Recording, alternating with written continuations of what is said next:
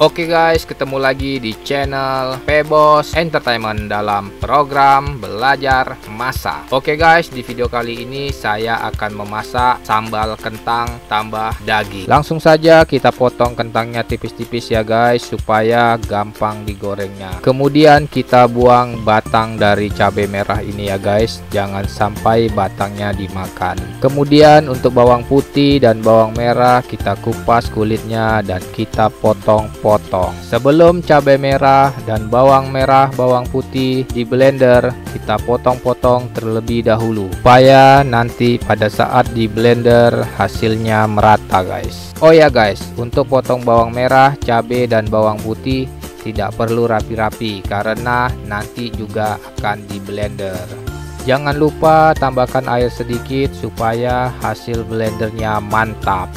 Oke guys, cabenya sudah kita blender dan bawang putih dan bawang merahnya juga sudah kita masukin. Tahap selanjutnya kita goreng kentangnya sampai benar-benar matang. Setelah sekian purnama, akhirnya kentangnya matang juga guys. Kemudian kita goreng juga dagingnya supaya lebih renyah guys. Jangan terlalu lama untuk memasak dagingnya karena tadi dagingnya sudah direbus duluan. Tahap selanjutnya kita masak sambalnya ya guys. Pastikan sambalnya dan bumbunya ini matang secara sempurna. Karena kalau tidak matang secara sempurna akan ada aroma-aroma yang kurang enak. Jangan lupa ditambah bumbu-bumbu sebagai penyedap rasa seperti garam garam, gula, ajinomoto, dan penyedap rasa lainnya sesuai dengan keinginan teman-teman semua.